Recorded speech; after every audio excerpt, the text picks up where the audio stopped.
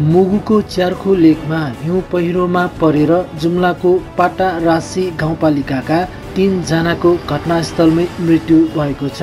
पाटा रासी दुई तल्फी गाउँका चालिस वर्षीय तारासिंह सार्की छत्तिस वर्षीय पूर्ण सार्की छत्तिस वर्षीय वीर बोहराको मृत्यु भएको पाटा रासी गाउँपालिकाका उपाध्यक्ष जनमाया रोकायले जानकारी दिइन्। यार्सा सङ्कलनका लागि पाटा राशिबाट गएका चौरजनाको टोलीमध्ये तिनजनाको मृत्यु भएको उनले बताए। अन्य सामान्य घाइते भएका छन्। दुईजना सकुशल रहेका छन्।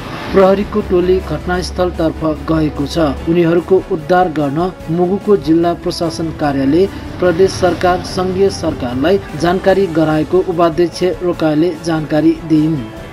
शनिबार दिउँसो खबर आएसँगै इलाका प्रहरी चौकी मुगुबाट प्रहरीको टोली घटनास्थलतर्फ गइसकेकाले के कसरी घटना भयो हिउँ पहिराका कारण हो कि अन्य कारण हो भनेर अनुसन्धान भइरहेको जिल्ला प्रहरी कार्यालय मुगुका निमित्त प्रहरी नायक उपरीक्षक सुदर्शन पन्थीले जानकारी दिए।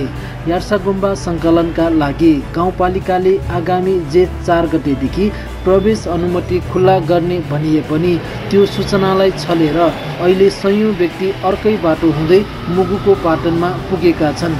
बेपत्ता भएका तिनजना सहितको टोली पनि अर्कै बाटो भएर पाटनमा पुगेको थियो।